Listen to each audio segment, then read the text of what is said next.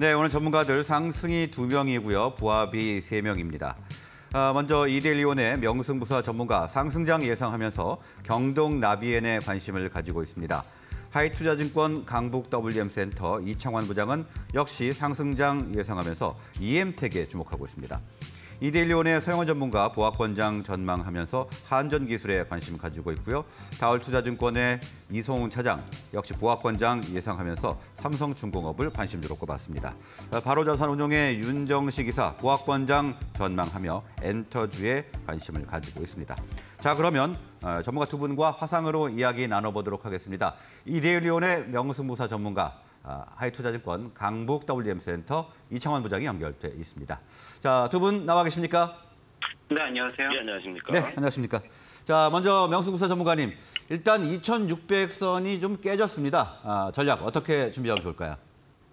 네, 최근에 우리 증시가 약간 조정이 왔습니다. 아, 미국도 이제 어, 나스닥이 거의 뭐 신고가를 가게 되면서 뭐 차익 압력이 좀 있었는데요.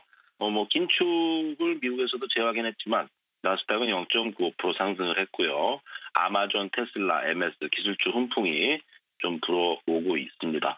자, 우리나라 증시는 특징적으로 최근에 조선주 오히려 좀 못 갔던 주식들이죠. 어, 삼성전자가 한번 상승 이후, 하이닉스 삼성전자가 상승 이후 좀 쉬어가는 국면에서 뭐 키 맞추기 상승이 좀 나오고 있어요. 가치주들이라고 볼 수 있는 뭐 조선주 또 특히 철강, 철강 대표 업종으로 이제 어, 철강 주면서도 또 2차 전지도 관련이 있는 뭐 포스코 같은 주식이 눌림목 저점에서 상승 추세로 전환을 좀 틀었다라는 것들이 좀 보여지고 있고요. 그에 반면에 이제 어, 기술주들은 좀 쉬어갔는데 저는 뭐 키맞추기 상승을 또 이제 진행할 것이다. 이번 여름에는 이제 썸머 랠리가 나올 것으로 봐지고요. 미국도 저는 정고점을 넘어가는 상승이 나올 것이다. 계속 말씀을 좀 드리고 있습니다. 지금은 이제 좋은 주식들을 모아가는 전략을 해야 되고요. 단기로는 저는 이제 어 우리 IT 주식보다 이번 다음 분기는 다음 분기는 가치주에서 좀 어 한마디로 이제 대박주들이 나오지 않을까 어 보고 있는 것이 최근에 뭐 하나오션이라든지 뭐어 해운주라든지 이런 쪽에서 어 상당히 강한 흐름들이 좀 나타나고 있, 있기 때문에 후발로 오는 어 섹터들을 잘 주시하시기 어 주시하신다면 좋은 수익 얻을 수 있을 것이다. 좀 조언을 좀 드려보도록 하겠습니다. 네, 단기간에 상승이 좀 컸기 때문에 조정이 올 수는 있겠지만 하반기에 상승장이 올 것으로 전망을 해주셨습니다. 자, 다음은 이창원 부장님. 자, 파월 네. 의장이 일단 금리 인상을 시사했습니다. 그래서 아무래도 좀 긴축 우려가 좀 커지고 있는 상황인 것 같은데요. 어, 전략 어떻게 준비하면 좋을까요?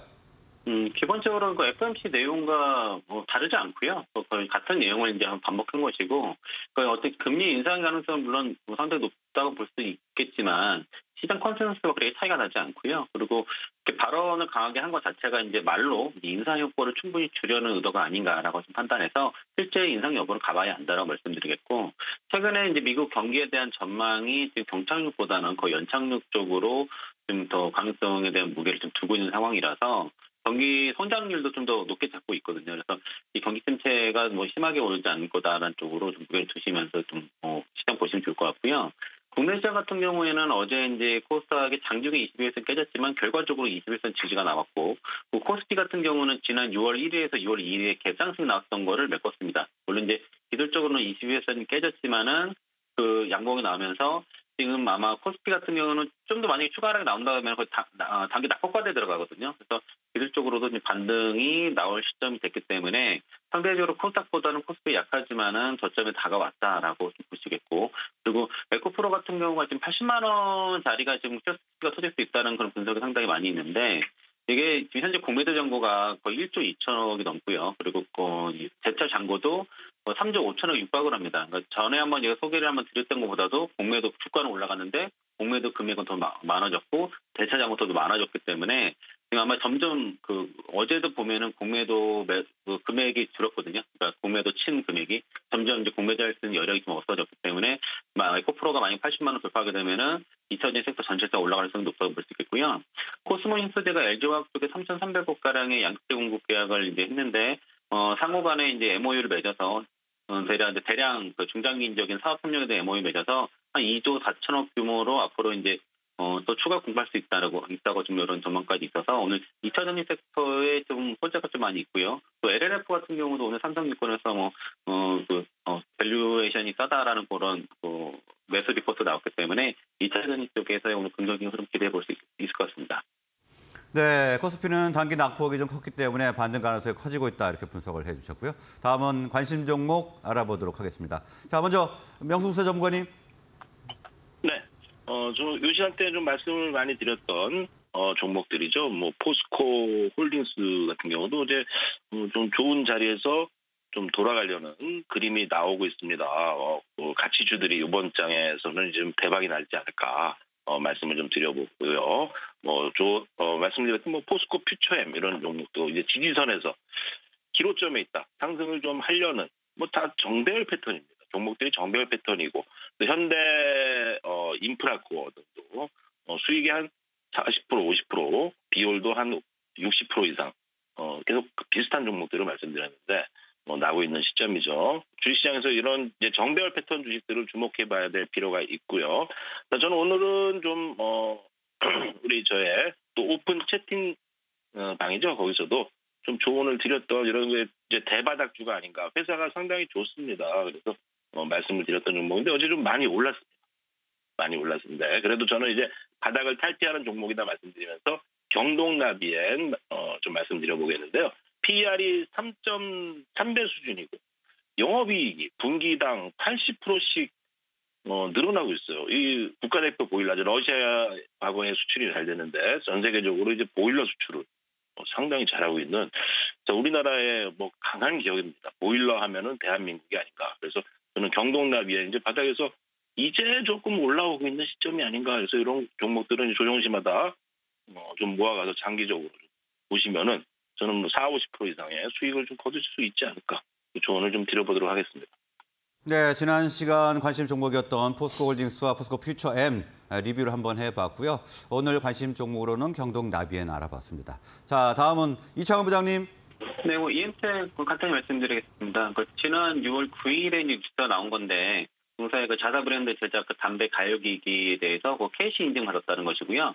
이게 이제 글로벌 담배 분배 사업장으로 그 나가는 물량인데 원래 이제 동사가 지금 그 작년 어, 올해 1분기 때 KT&G 쪽의 물량이 감소함에 따라서 earning shock가 나왔고 이게 이제 2분기까지 좀 그 실적에 대한 영향이 좀 일어나서 주가 좀 부진했었는데 어, 최근에 그, 그 여전히 동사의 투자 포인트 자체가 글로벌 사업자에 대한 수주거든요.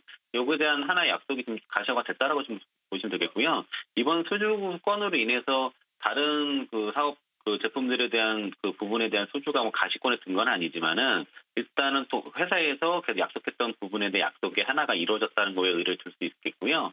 또 글로벌향 자체가 원래 KC 인증 딱 필요 없이 그냥 나갑니다. 그래서 이렇게 보시겠고 동사가 이제 그, 그 현재 capa가 대략 그 제품들 capa가 5천억 원 정도 capa를 보유 중인데 어 작년 그 지난 이제 5월달에 인도네시아 그 생산법인의 capa 그 2천억 capa를 좀 구비를 했기 때문에 지금 이게 이제 어떤 물량이 없이 이렇게 capa 구비하지는 않을 거라고 예상을 하고 있고요. 지금 신규 수주를 준비해놓고 이 capa 증설을 했기 때문에 지금 글로벌향의 추가적인 수주가 어, 임박한 게 아니냐는 그런 기대감이 계속 있어서 2분기 실적까지는 일단은 좀 다소 부진할 수 있습니다. 그래서 실적보다도 동사의 투자 포인트 자체가 글로벌향 그 수주기 때문에 이걸 기다리면서 좀 어, 가져가 보시는 어, 전략 괜찮을 것 같고요.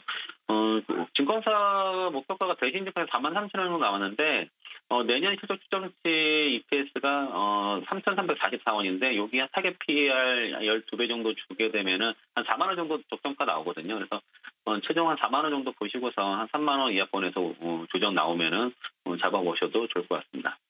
네, EM택까지 알아봤습니다. 자, 오늘 말씀은 여기까지 듣겠습니다. 두 분 수고하셨습니다. 네, 고맙습니다. 네.